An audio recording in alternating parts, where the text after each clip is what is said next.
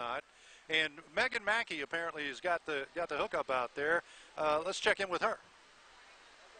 Well, it is Fat Tuesday, and we are at the corner of St. Francis and Conception Street. We have Jim here who drove all the way from Pensacola today just for Fat Tuesday. Jim, how many years have you been coming down to Mobile?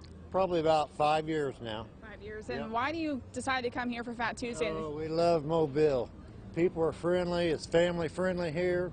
You can't beat a beautiful day like today. And talk a little bit with me about your outfit. Oh yeah, I get so many beads, toys, and my little dog here.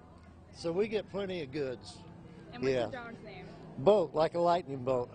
And why do you like to bring him out to the parades and kind of set up here? Uh, he gives me some extra beads. yeah, they really love him. So, yeah, having a great time here. And we were talking about there hasn't been a parade in two years, you know, Oh, the big celebrations. What's it like being out here, seeing everyone out here? Oh yeah, I'm so glad to see things getting back to normal. Yeah, everybody's just having here, coming out, having a good time. Yeah, good people here in Mobile. And what's your favorite part of Fat Tuesday, particularly here in Mobile? Well, I think the tradition the most thing, but you can't go you can't go wrong with the moon pies. Are these your friends? Oh yeah. What's your name, sir? Jerry Williamson? You live in Pensacola? Hell no. I'm from Indiana, All right, just down here enjoying Indianapolis. down here enjoying Fat It's Tuesday. a little warmer down here, yeah. just a little bit. Yeah, talk Jim about the weather. The weather is nice here today. Is this how it always is Fat Tuesday?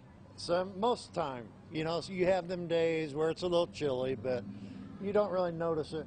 Especially with my queen over here. She gets the beads. You better come over here. Did she hand make that? uh, she gets a lot of beads with that hair of hers. So, yeah. That's awesome. Well, we hope Yeah. you enjoy the parades down here, Jim. Thank you so much. Thank you very much. Reporting in downtown Mobile, Meaghan Mackey, WKRG News 5.